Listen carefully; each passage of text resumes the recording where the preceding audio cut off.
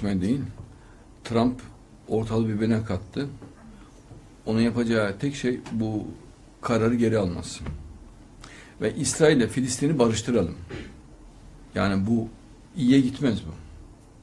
Kötüye gider bu. Bak adam çıktı Kissinger kan gövdeyi götürecek Orta Doğu'da dedi. Daha yeni söyledi. Bir ay oldu.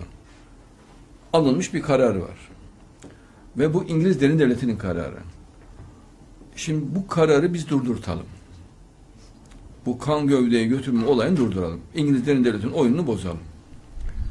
Çünkü İslam ülkelerini birleştirip e, Musevi Hristiyan ittifakı meydana getirip Müslümanlar da kendi aralarında ittifak haline getirip muazzam bir savaş düşünüyor. Yok kardeşim buna müsaade etmeyeceğiz.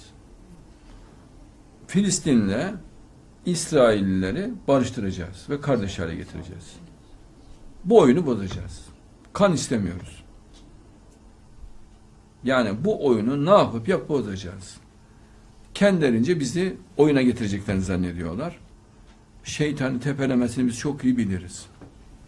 Kanunla, hukukla, ilimle, irfanla onların bu ahmak oyununu başlarına geçireceğiz. Kan istemiyoruz. Bilakis barıştırıp sarmaş dolaş kardeş yapacağız. Koskoca topraklar hepsine yeter. Ne oluyor yani?